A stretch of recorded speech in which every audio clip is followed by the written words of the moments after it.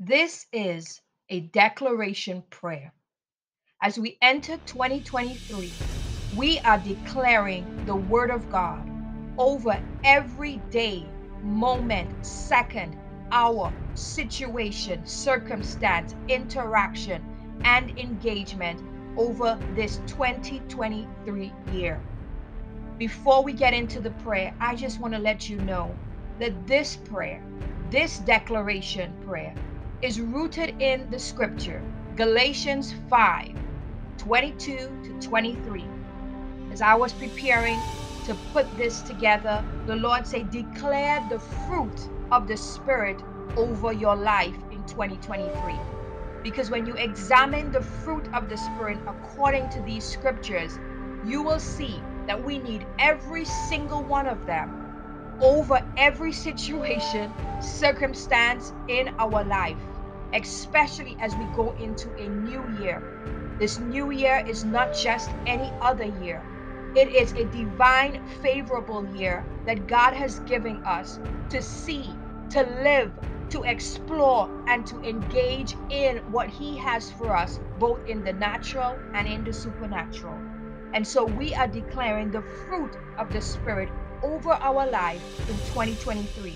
Galatians 5 22 to 23 declares, But the fruit of the Spirit is love, joy, peace, patience, kindness, goodness, faithfulness, gentleness, self control.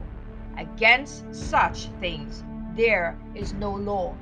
And so that tells us as we declare these fruit over our spirit, over our mind, over our bodies, over our families, over our careers, over our kingdom building, that there is no limit, there is no restriction, and there is no law. So let us declare in 2023 the fruit of love.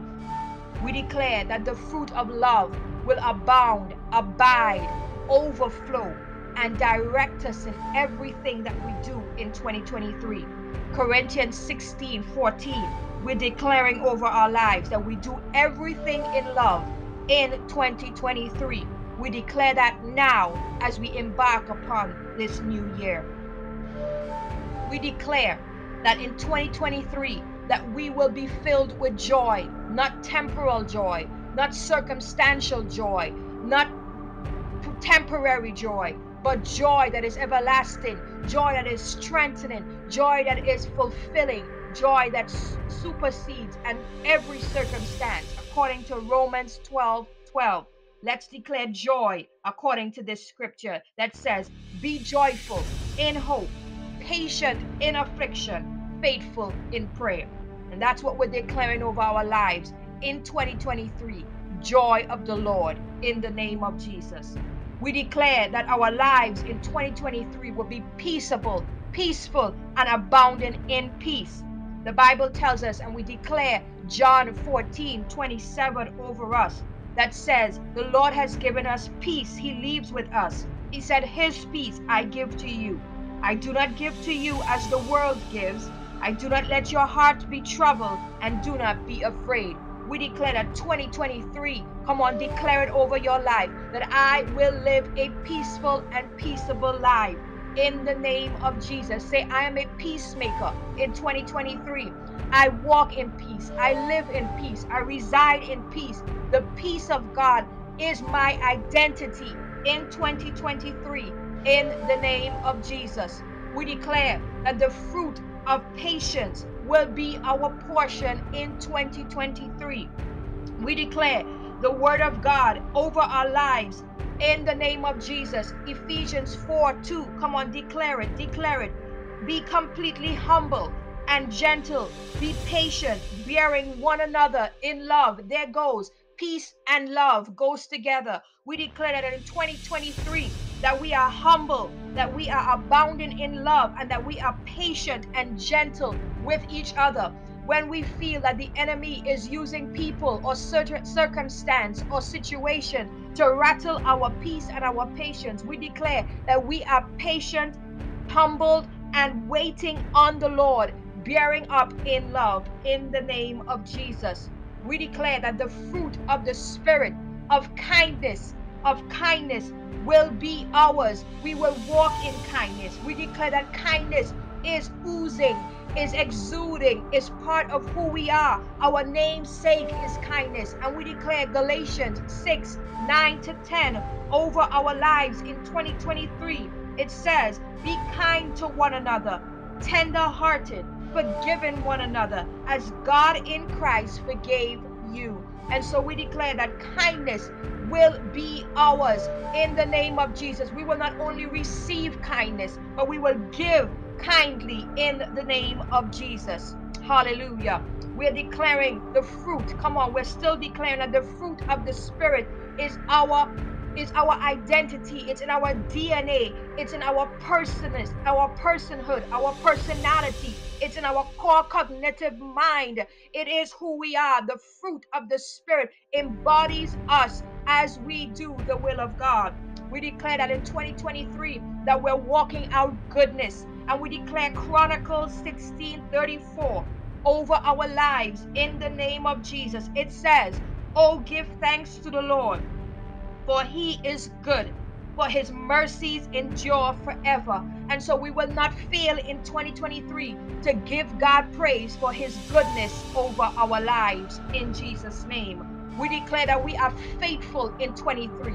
We will not be distracted in our faithfulness. We will not compromise our faithfulness. We will not abandon our faithfulness unto God in 2023.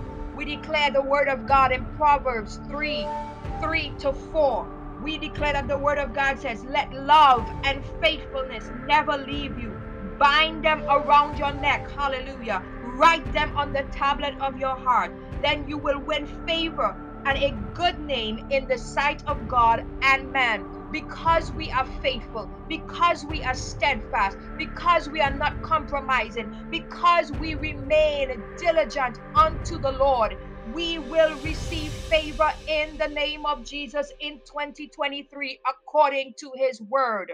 Hallelujah. We declare gentleness. We declare gentleness. Somebody say right now, I declare that I am a gentle person under the mighty hand of God in 2023. We declare that Philippians 4 5 is our portion. Let gentleness be evident to all the Lord is near. And so we declare that we exude gentleness, we demonstrate gentleness, and we provide gentleness appropriate in the right season and circumstance in 2023. In the name of Jesus, we declare that in 2023 that we have a level of self-control that we have never seen that we have never experienced, that we have never given before. We declare according to 2 Timothy 1 7 For God has given us not a spirit of fear, but of power, love, and self control. And so when things are seemingly unraveling around us in 2023, we stand firm and sure on the promises of God, leveling us, bringing us to equilibrium in the spirit and making us known to be one of great self control, not moving ahead, not moving behind God, but moving in sync. We declare there's a synchronism that is happening in our emotions, in our feelings, in our actions, and our behavior. And we are not controlled by the wiles of the world, but we are controlled and subdued under the Holy Spirit. And so we declare that in 2023, that we exude a level of self control that is similar to that of the Holy Spirit. In the name of Jesus. And I pray all of these fruit of the Spirit is unto us in 2023. As you are listening to this prayer, declare right now that I walk in 2023 with joy, with love, with peace, with patience, with kindness, with goodness, with faithfulness, gentleness, self control. That is who I am in 2023. And I give God all the glory and the praise because I walk in the fruit of the Spirit this year in 2023. God bless you. You may need to pray this prayer over and over throughout the year. But God knows that we are walking this out in 2023. And if you agree, somebody say, Amen, Amen, Amen. God bless you. Thank you for listening. If you were blessed, please make sure that you subscribe, share, comment, and give us a like on YouTube. This is the Wisdom Series, and I am Dr. Cindy Jordan. God bless you.